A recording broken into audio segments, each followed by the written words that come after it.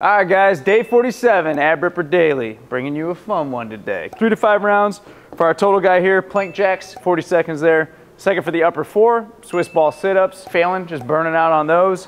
Third for the lower four, frog leg knee raises, failing on those. Fourth for the oblique crunch anti-rotational, hanging static oblique holds, A-lap as long as possible. And then fifth for the oblique rotational, spellcaster, so getting creative with the dumbbells. Throw those all together, fun core workout. Finish with your 100 stick twist. Enjoy.